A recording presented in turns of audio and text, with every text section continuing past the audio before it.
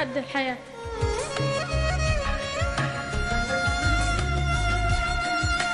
حلمي إني أكمل مدرستي يعني رغم كل هالدمار هذا وكل هالشي يعني إحنا جا يعني مكملين يعني قاعد ندرس. نورا بنت الخمسة عشر ربيعا تحاول المضي قدما وهي تسند جسدها الصغير على حمالة خشب بسيطة. تحاول بكثير من الإصرار على التعلم. بعد أن تركت مدرستها وهجرت هي وعائلتها نتيجة الإرهاب الذي حاول طريقة معالم الطفولة في بلدتها الصغيرة بريف القامشلي. أبوي قال لا تدرسين إنه الوضع مو ظابط. شي لا تدرسي لا تروحين على المدرسة. يعني ظلت بنفس المدرسة. لما جيت هنا يعني حلمي إني أكمل مدرستي يعني إنه أتعلم.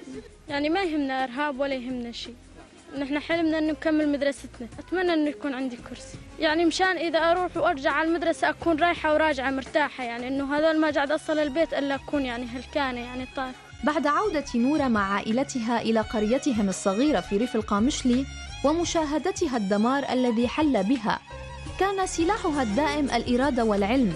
من خلال التحاقها بورشات التعليم التي أقامتها جمعية الإحسان الخيرية ضمن برنامج الدعم النفسي الذي تقدمه للأطفال المهجرين. مركز الحاجية ومركز أمان ترفيهي. آه، آه، هدفه آه، تهيئة جو مناسب للأطفال لممارسة نشاطاتهم الترفيهية والرياضية.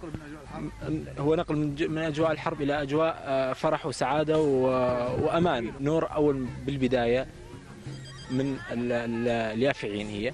عمرها 15 سنة. إجتنا على المركز لأول مرة. بصراحة يوم بعد يوم اكتشفنا إنه نور حابة تجي وحابة إنه تتعلم وحابه الأنشطة هاي. جت على المركز بل شلون آه، كانت إنه آه، خجل ما تحكي زيادة إنه تعودت على الطلاب آه، الطلاب كلهم تعرفوا من نفس القرية وبلشت إنه باستمرار تجي على المركز. يعني ما تقطع ولا يوم. يعني تستنانا بس ساعة لحتى تجي.